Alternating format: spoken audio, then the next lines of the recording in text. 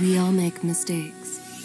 Some are small, some are large. But his mistake, born of innocence, fueled by pride, was the greatest and most terrible of them all.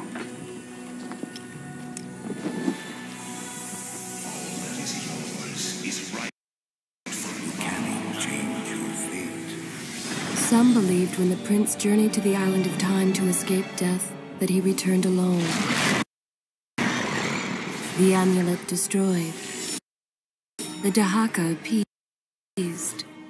The empress dead. The prince was free at last. But this is not how it happened.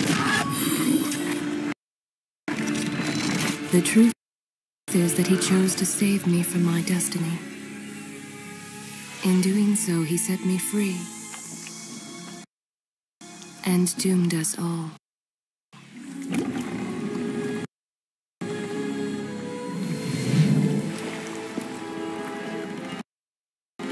Prince, of all the possible futures, this one held the most promise that something has changed. Do not worry, Kaileena. No harm will come to you in Babylon. I promise. Look, we are near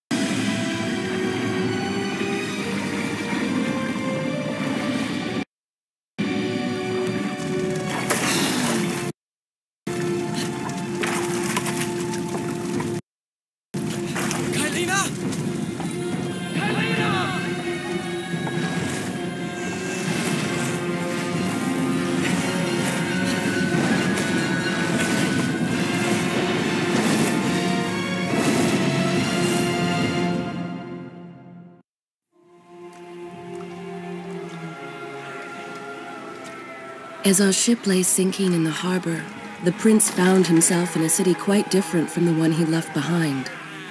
The normally busy wharves were now decimated. Blood spattered awnings and splintered door frames were all that waited to greet him. And the people, merchants, beggars, fishermen, were nowhere to be found.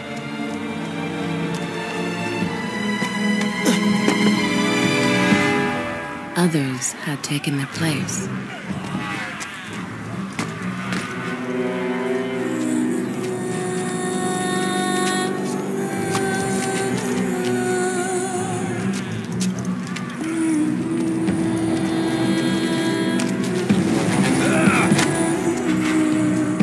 Let her go!